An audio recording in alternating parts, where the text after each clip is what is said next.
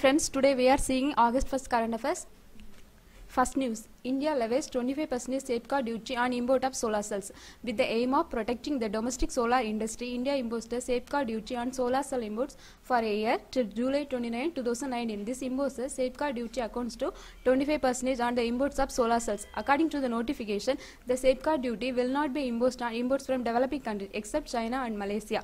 The Federal Trade Ministry earlier this month recommended imposing a 25% duty on imports of solar cells and models from China for one year to try for, to uh, counter what it see as a threat to domestic solar equipment man, manufacturing. அதாவது இதில் என்ன சொல்லியிருக்காங்க அப்படின்னா twenty five percentage level tax வந்து import of solar செல்ஸுக்கு வந்து பண்ணியிருக்காங்க except China and Malaysia கண்ட்ரியை தள்ளி வேற எல்லாத்துக்குமே டுவெண்ட்டி ஃபைவ் பர்சன்டேஜ் டேக்ஸ் போட்டிருக்காங்க Next news, Neeraj Chopra won gold medal at Savo Games in Finland. Indian javelin thrower Neeraj Chopra won a gold medal in the Savo Games in Lap- Lahti, Finland. Neeraj Chopra made a throw of 85.69 meters and won the gold medal. Chao Sun Zheng of Chinese Taipei made a throw of 82.52 meter and won a silver medal. He is the only Asian to have thrown the javelin to a distance of more than 90 meter. அதாவது நீரஜ் சோப்ரா வந்து சாவோ games Finland நடைபெற்றதுல gold medal win பண்ணியிருக்காங்க Next news, Women Hockey World Cup, India beat Italy and entered quarterfinals.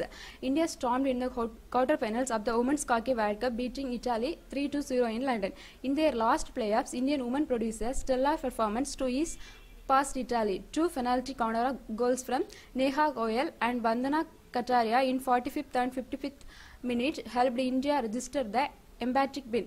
India will meet in Ireland. Meanwhile, in the second crossover match of the day, Scots England beat Korea 2-0 to set up a quarter-final date with the Netherlands. The semi-finals will be played on Saturday. The final is slated for Sunday. அதாவது women's hockey world கப்பில் வந்து India வந்து இட்டாலியை beat பண்ணி அதாவது three two zero அப்படிங்கிற கோல் கணக்கில் beat பண்ணியிருக்காங்க இல்லை டூ பெனால்ட்டி கோல்ஸ் வந்து நம்ம இந்தியாவுக்கு கிடைச்சது அதில் கோல் அடிச்சது யாரெல்லாம் பார்த்தீங்கன்னா நேஹா கோயல் மற்றும் வந்தனா கச்சாரியா அதாவது ஃபார்ட்டி ஃபிஃப்த் ஃபிஃப்டி மினிட்ஸில் அடித்து இந்தியாவுக்கு வெற்றி வாங்கி கொடுத்துருக்காங்க அதில் குவார்டர் ஃபைனல் வந்து இனி வந்து நெதர்லாண்ட்ஸ் கூட பீட் பண்ண போகிறாங்க செமிஃபைனல்ஸ் வந்து சாட்டர்டே அண்ட் ஃபைனல் வந்து சண்டே நடக்க போகுது. Next news, RBI increased the policy repo rate by 25 basis points to 6.5 percentage. The Reserve Bank of India increased the repo rate by 25 basis points to 6.5 percentage and the reverse repo rate to 6.25 percentage. This is the third bi-monthly policy review of the 2018 to 19 financial year. The marginal standing facility rate and the bank rate have been adjusted to 6.75 percentage.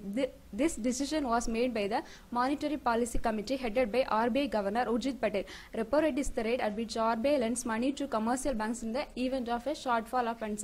அதாவது RBI வந்து policy repo rate வந்து twenty five points வந்து increase ஆகி six point two ஃபைவ்ல இருந்து இப்போ six point ஃபைவா increase ஆயிருக்கு அதே மாதிரி ரிவர்ஸ் ரெப்போ ரேட் சிக்ஸ்ல இருந்து சிக்ஸ் பாயிண்ட் டூ ஃபைவ் பர்சன்டேஜா இன்க்ரீஸ் ஆயிருக்கு marginal standing facility six point seven five percentage இந்த repo rate reverse repo rate எல்லாமே கால்குலேட் பண்றது யார் அப்படின்னு பாத்தீங்கன்னா மானிட்டரி பாலிசி கமிட்டி அதோட அதோட ஹெட் வந்து RBI governor Urjit Patel repo rate அப்படின்னா என்ன அர்த்தம் அப்படின்னா நம்ம கமர்ஷியல் பேங்க்ஸுக்கு ஏதாவது ஷார்ட் ஃபால் ஃபண்ட்ஸ் வந்துச்சு அப்படின்னா ஆர்பிஐட்ட இருந்து கடை வாங்குவாங்க அவ்வளோதான் next news Kidambi Srikanth enter pre quarter finals of world badminton championship at Nanjing in China Srikanth defeated Pablo Abian பியன் of Spain twenty one fifteen fif twelve twenty one twenty one to fourteen in women singles Olympic silver medalist P V Sindhu will face Fitrani Fitrani of Indonesia in the second round of the championship. Shaina Nehwal already entered the free quarterfinals, defeated Durki's Alia Demir in men's doubles pair of Chirag Shetty and Shadvik Sairaj Ranik Reddy and Shumesh Reddy and Manu Archie will also play their round of 16 matches. Um, world badminton சாம்பியன்ஷிப்பில் Kidambi Srikanth வந்து pre quarter ஃபைனல்ஸுக்கு போயிருக்காங்க already PV சிந்து போயிருக்காங்க அதுக்கப்புறம் சாய்னா நேவால் பேர்ஸில் வந்து Satwik Sairaj Rankireddy and Smith Reddy போயிருக்காங்க. Next news North Korea builds intercontinental ballistic missiles. Washington Post reported that North Korea seems to be building one or two new liquid-fueled intercontinental ballistic missiles at a factory at uh, Sanamdong. It also said that the advancement of the missiles is unknown. North Korea has produced the country's first missiles which are capable of reaching the United States. This is the latest evidence that suggests the ongoing activity of North Korea's nuclear and missile facility despite of the Singapore summit in June between the US President Donald Trump and the North Korean leader Kim Jong Un அதாவது சிங்கப்பூரில் US president Donald ட்ரம்ப்பும் North Korean leader Kim Jong Un அந்த meeting நடந்ததுக்கப்புறம் அவங்க என்ன சொல்லியிருக்காங்க அப்படின்னா north கொரியாவில் சானம்டங் அப்படிங்கிற ஃபேக்ட்ரியிலேருந்து ஒரு ballistic missile intercontinental ballistic missiles ஏவ போகிறாங்க next news United State to grant India the State strategic one trading status. US President Donald Trump decided to grant India the strategic trade authorization status equivalent to American allies for procurement of military weapons. This is a big reference to China for blocking India's entry into the nuclear supplies group. The US President has relaxed the key conditions set by the Obama admi- administration that India would be eligible only after it had secured the membership of all four technology control regimes, the NSG, the Missile Technology Control Regime, the Wessener Arrangement and the Australia Group. India became a member of three of these except for NSG, where China has continued to block a consensus Donald Trump வந்து இந்தியாவுக்கு strategic trade authorisation அப்படிங்கிற status கொடுத்துருக்காங்க இதை வச்சு என்ன பண்ணலாம் military weapons வந்து produce பண்ணலாம் இந்தியா வந்து நியூக்ளியர் சப்ளைஸ் குரூப்ல மட்டும்தான் இப்போ மெம்பரா இல்லை அதை பேன் பண்றது யாருன்னா China Next news, Deepak Parekh reappointed HDFC director. HDFC chairman Deepak Parekh was reappointed as non-executive director on the board of Housing Development Finance Corporation Limited through 22.6 percentage of the shareholders voted against his consti- uh, continuation. JJ Irani and KK Ministry mm, to call reappointment as directors to HDFC board with more favorable votes. HDFC chairman இருந்த Deepak Barack வந்து இப்போ டைரக்டரா appoint பண்ணியிருக்காங்க அவர் வந்து twenty two point sixty four percentage votes வாங்கியிருக்காரு அப்புறம் K K Mistry and J J Irani வந்து ஹெச்டிஎஃப்சி போர்டில் டைரக்டராஸாக இருக்காங்க Unique Identification Development Authority of India advises people not to put their Aadhaar numbers on social media. The Unique Identification Authority of India has advised people not to put their Aadhaar numbers on the internet and social media. It also said that people should keep in mind that the Aadhaar number is personally sensitive information like bank account number, passport number, and PAN number. It should be shared only on need basis for a legitimate use for establishing identity and for legitimate transaction. Unique Identification Authority of India founded 28 January 2009, headquarters in New Delhi, கல்கி ministry ministry of electronics and information technology India chairman J. Satyanarayana IAS CEO Ajay Bhushan Pandey IAS unique identification development authority of India என்ன சொல்லியிருக்காங்க அப்படின்னா Aadhaar numbers வந்து பர்சனலாக save பண்ணணும். அப்புறம் எந்த social மீடியாலையும் அப்லோட் பண்ணக்கூடாது. Unique identification development authority of India twenty eight January two thousand நைன்டீனில் கொண்டு வந்தாங்க.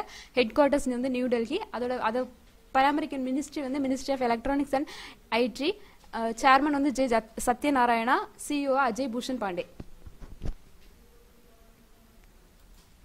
Next news, government launch e-Akshaya Akshaya Rayan software in seven Indian language. E-Akshaya Rayan is free desktop software for converting scanned printed Indian language documents into fully editable text formats in Unicode encoding. The software supports editing in seven Indian languages, Hindi, Bangla, Malayalam, Kurmuhi, Tamil, Kannada and Assamese. இஎக்ஸ்ரன் அப்படிங்கிறது ஒரு desktop software இதை use பண்ணி என்ன பண்ணலாம்னா old scanned printed Indian language documents எல்லாம் வந்து text ஃபார்மேட்டாக மாற்ற போகிறாங்க அது எந்தெந்த லாங்குவேஜ் அப்படின்னா Hindi Bangla Malayalam Gurmukhi Tamil Kannada and Assamese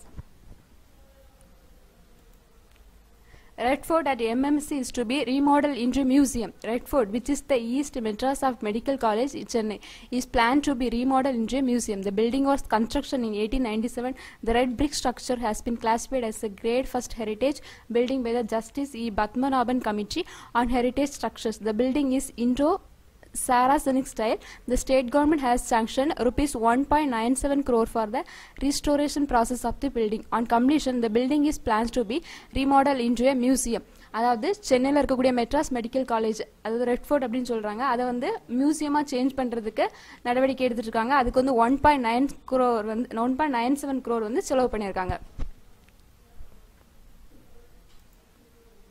Reliance beats TCS and became India's most valued company.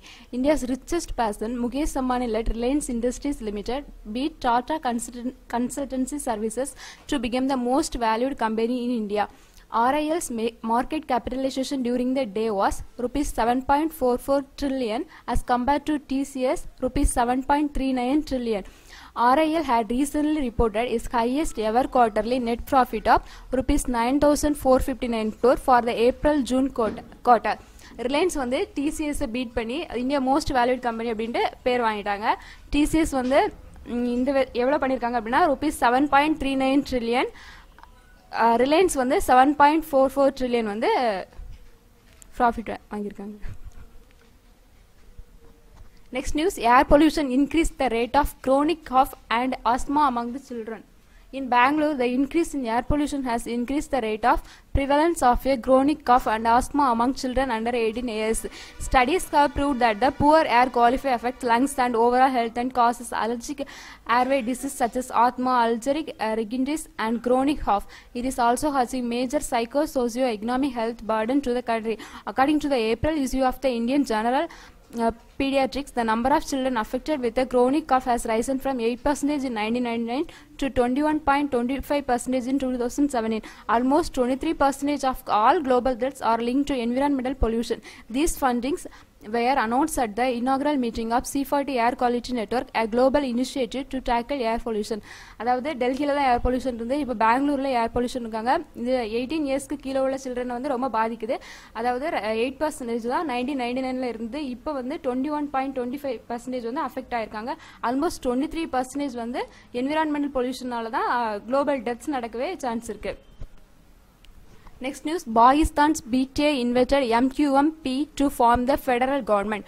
Pakistan Tehreek-e-Insaf party, after winning the majority in Pakistan parliamentary election, invited the support of Mutahida Qawami Movement Pakistan to form the federal government. PTA's Jahangir Tarin flew to Karachi from Islamabad to meet with MQMP to invite them to join the PTA-led government. In the July 25th election, the party MQMP won six national assembly seats, four in Karachi and two in Hyderabad.